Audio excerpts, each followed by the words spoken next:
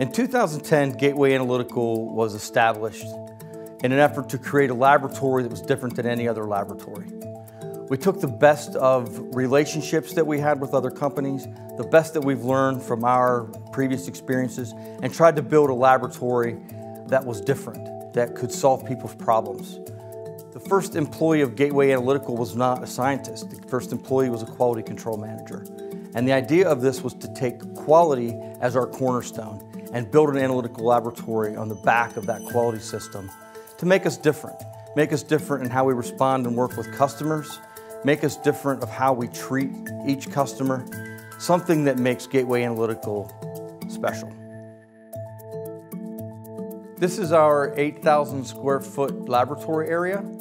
The environment is created to minimize any particulate as our specialty is particulate analysis.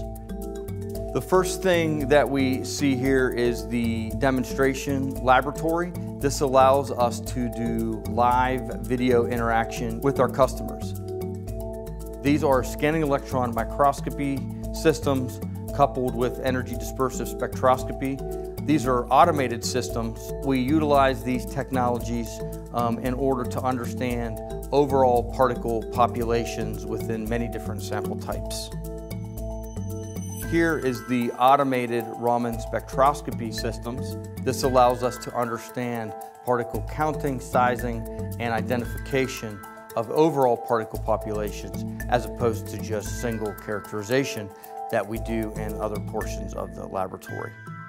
And lastly, we have specialized sample preparation areas, such as water filtration, laminar flow hood environments, and many modular cleanroom areas for particle preparation.